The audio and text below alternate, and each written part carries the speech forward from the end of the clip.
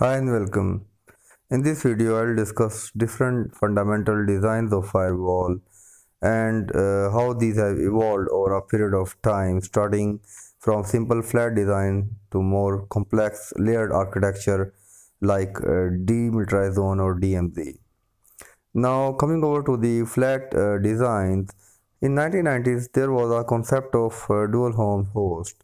Now, this uh, dual home host has uh, two home. One is the internet and other one uh, is the internal network. So there was no uh, security device or firewall uh, between uh, this dual home host and the internet.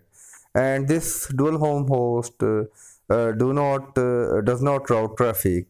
So anyone on the internet who wants to access the internal network has to log into this dual home host and then uh, he can uh, access the internal uh, network.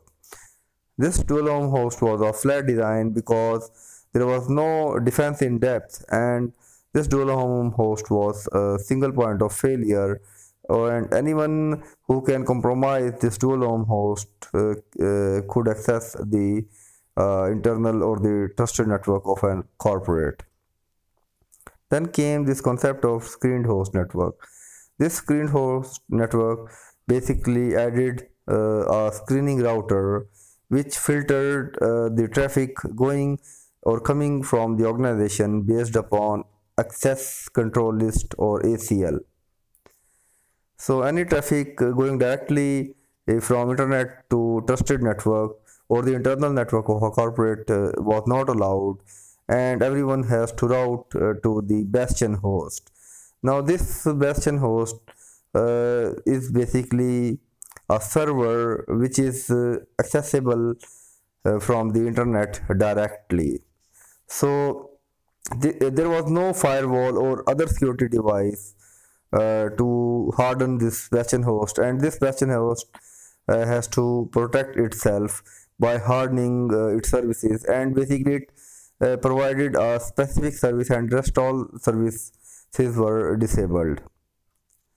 So any traffic uh, or the internet traffic has to first route uh, based upon ACL to this bastion host and then this bastion host can access the internal network. But this was also a flat design because anyone uh, who can compromise this bastion host was able to access the internal network. Then came the concept of uh, screened uh, subnet with the advent of uh, firewall.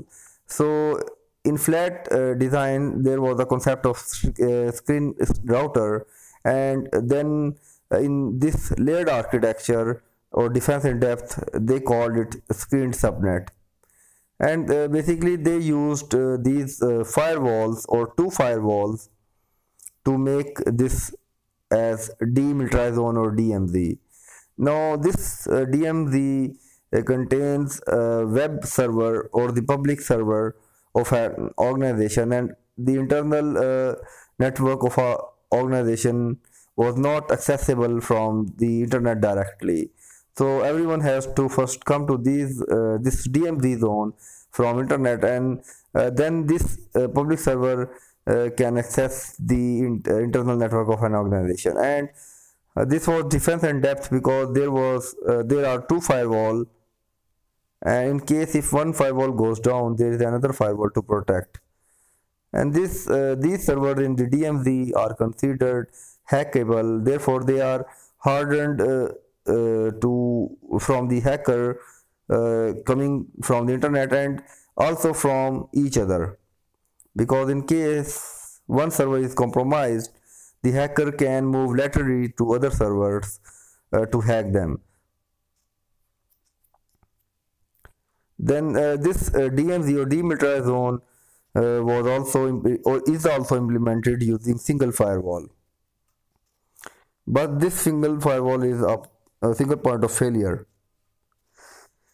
So this uh, single firewall has to filter all interfaces and this is also called as uh, three-legged architecture.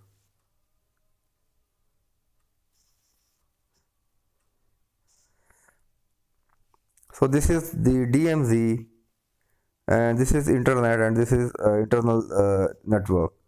So anyone coming from the internet is not granted access uh, to the internal network and he has to first go to these web server and then uh, these web server can route traffic or can initiate traffic with the internal servers. So this was all uh, from my side.